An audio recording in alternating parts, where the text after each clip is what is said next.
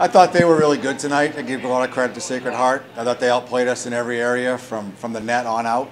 A lot of scoring chances. We just didn't match their speed and compete. And, um, you know, as we learn and grow the program here and part of this process, we're going to have to, you know, learn to play against big, strong, old teams. And we've had that the first couple weeks, and we need to be better.